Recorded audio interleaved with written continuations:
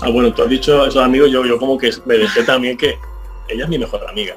Tengo que decirlo, o sea, aparte de ser mi pareja, mi mejor amiga, yo lo digo es mi alma gemela. Las oportunidades se dan eh, a medida que vamos eh, viviendo el día a día. A la primera que haya un, un, un error de esa naturaleza, creo que uno no debe perdonar. Sí, Alaya tiene que enterarse cuanto antes de que yo ya tengo pareja. Costa y su nueva novia, Evelyn Beltrán, tuvieron una pequeña entrevista con Mandy Friedman. En esta entrevista hablaron acerca de su historia de amor, por supuesto dando a entender que lo que ellos están viviendo es puro amor. Ambos aseguran que nunca le fueron infieles a sus exparejas, cuando iniciaron su romance hace ya más de 7 meses. Acerca de su noviazgo con Evelyn Beltrán, Tony Costa dijo que todo va viento en popa, pero cuando se le preguntó acerca del matrimonio, él dijo que eran ya palabras mayores. Y es que es cierto, la pareja apenas lleva unos cuantos meses de relación. Probablemente quieren conocerse un poquito más y después hablar de la posibilidad de contraer nupcias. El ex prometido de Adamari López dijo en esta entrevista lo siguiente, cuando conectas también con una persona es normal que puedas llegar a pensar en el futuro, pero también lo has pensado anteriormente.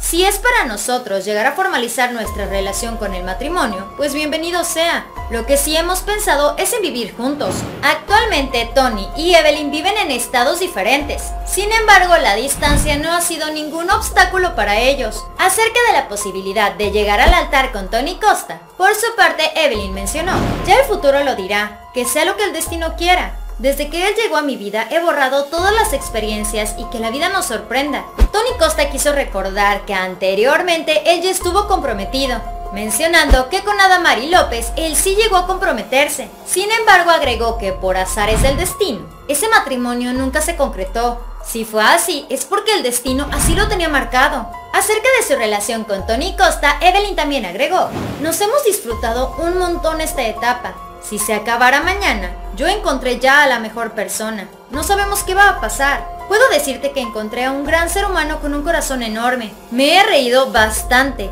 Me he pasado los mejores momentos de mi vida a su lado. Acerca de cómo ha llevado toda esta situación, Alaya, la hija de Tony Costa con Adamari López, el bailarín español mencionó que a su hija la ve muy preparada, porque ella ya está consciente de la situación que viven sus padres. Mamá y papá ya no están juntos, pero ellos se siguen llevando bastante bien, principalmente por el bienestar de la hija. Acerca de la pequeña Alaya, Tony Costa mencionó, ella sabe que papi va a tener una casa en la que ella va a poder ir, que ella va a tener dos casas y ella está contenta con eso. Tendrá sus episodios y cositas como niña, como cualquiera, como alma inocente que es. Ella quiere ver a sus papás juntos, pero dentro de eso ella es consciente de la situación. Creo que ha llegado el momento de decirle, papi tiene novia. Creo que puede entenderlo bien. Espero que así sea.